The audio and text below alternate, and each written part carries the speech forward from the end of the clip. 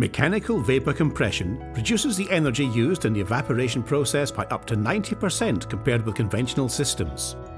It works by reusing the heat energy contained in the vapor. This energy would otherwise be wasted. In a typical falling film evaporation plant, the feed liquid enters the top of a vertical chamber called a calandria. The liquid is dispersed across a large number of vertical tubes. As it flows downwards, it tends to form a film on the inside of the tube. Between the top and bottom sections of the calandria, there is a sealed area where the tubes pass through a jacket of high temperature vapour. This section acts as a heat exchanger. As the hot vapour condenses on the outside of the tubes, it releases latent heat which raises the temperature of the feed liquid in the tubes. By the time the feed liquid leaves the bottom of the tube, much of the water has been evaporated off, leaving a concentrated, viscous liquid. The water which has been evaporated off leaves the tube as vapour.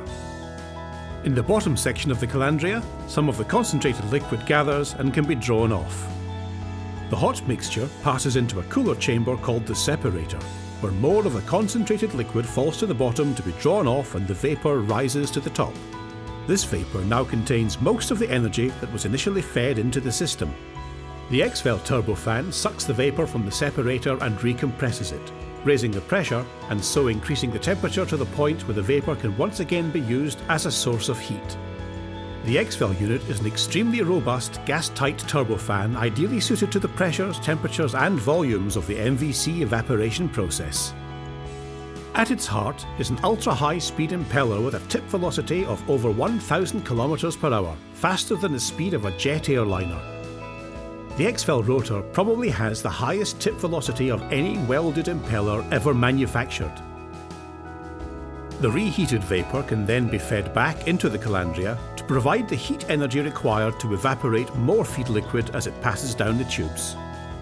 The mechanical vapor compression process is a highly energy efficient and cost effective way of retaining and reusing the latent heat contained in the vapor, energy that would otherwise be wasted. Once the process has been started and brought up to temperature, the only energy input required is the electricity to drive the ExVel turbofan.